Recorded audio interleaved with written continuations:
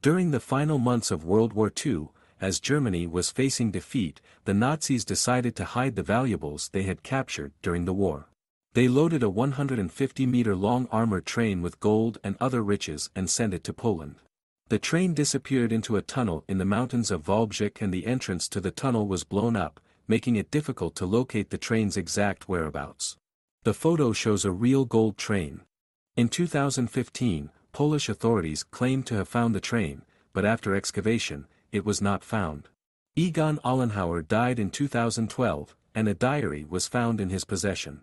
In March 2019, the diary of Egon Ollenhauer, who was involved in burying the treasure, was published in Germany.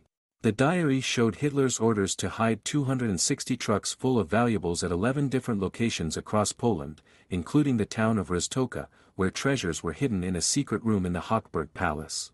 Also,